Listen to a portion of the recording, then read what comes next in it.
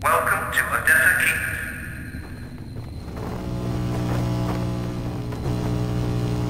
Ready.